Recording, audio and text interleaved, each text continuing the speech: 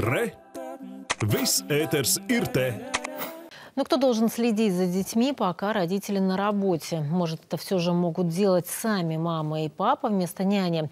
На портале инициатив Манабалс ЛВ собраны необходимые для передачи в парламент 10 тысяч подписей за идею выделять финансирование для няни не только сертифицированным специалистам, но и родителям. Чтобы в случае, если малыш еще не попал в детский сад из-за очереди, присматривать за ним могли бы мама или папа.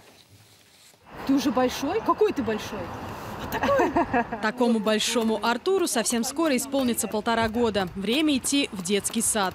На детских площадках, наверное, это самая обсуждаемая тема. Это горшок и детский садик. Рассказывает мама Артура Александра. Но их очередь идти в Рижский детский сад еще не пришла.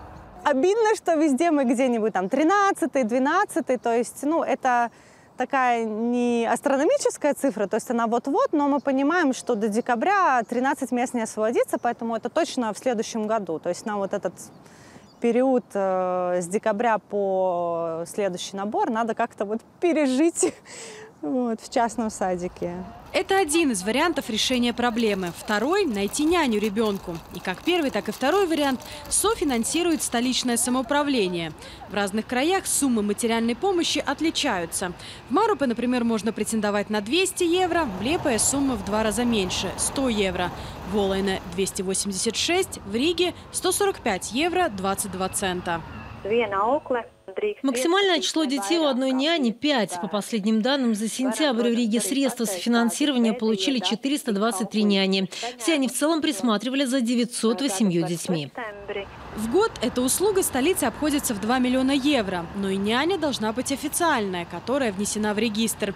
А для этого у нее должно быть педагогическое образование или профессиональная квалификация, пройденные курсы первой помощи, а также статус индивидуального коммерсанта.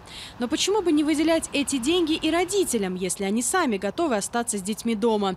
Так считает более 10 тысяч граждан Латвии, подписавшихся за идею на портале manabals.lv. Среди них была и Александра.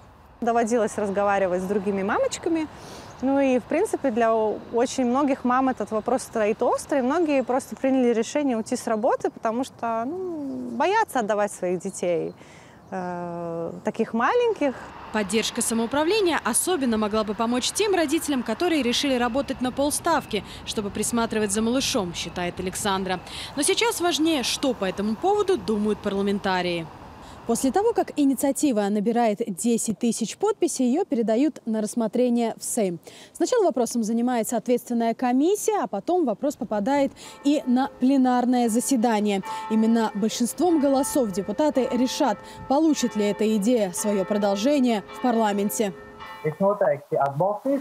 Я определенно поддержу эту инициативу и ее продвижение в парламенте. И в комиссии будет очень важно обсудить, какое влияние эта идея окажет на бюджеты самоуправления. Как краткосрочную пожарную меру мы можем это воспринимать и даже утвердить в законе, но в долгосрочную перспективу я бы хотел все-таки, чтобы самоуправление государства гарантировали бы дошкольные учреждения всем детям, которые пожелали там находиться.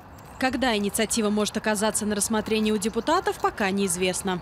Анастасия Дьяконова, Крещан Слейтис, Лаурис Дундурс, Латвийское телевидение.